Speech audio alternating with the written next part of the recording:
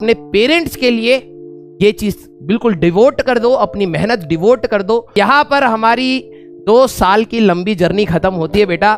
बहुत प्यार दिया आप सभी लोगों ने, बहुत ज़्यादा सपोर्ट किया।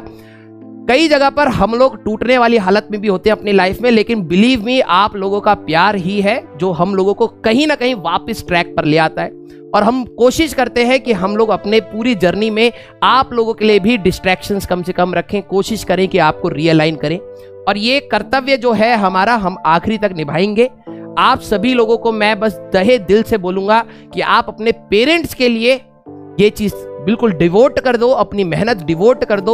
ये दो तीन महीने अगर आप अपने लाइफ में अच्छे से इन्वेस्ट करते हैं you will not regret it it's never about the rank never about the rank आप एक जेई फोड़ते हैं, नहीं फोड़ते हैं, वो कभी कभार किस्मत पर भी डिपेंड करता है। हो सकता है जिस दिन जेई का पेपर हो, उस दिन आपकी तबीयत खराब हो, या आप एग्ज़ाम सेंटर पर नहीं पहुँच पाए, या फिर आपका कंप्यूटर सही से काम नहीं करा, या फिर उस सेंटर पर नेट खराब there are X factors but आपके अंदर की जो कैपेबिलिटीज है, वो सिर्फ़ एक पेपर डिसाइड नहीं करेगा। अब आपको अपने को जानना है इस पूरे प्रोसेस में और अपने आप को मनाना भी है कि जब भी हार आएँगी, अभी तो बुरा समय है, अभी तो इसके बाद हमारी पूरी ज़िंदगी हमें फोड़ना है। ठीक है?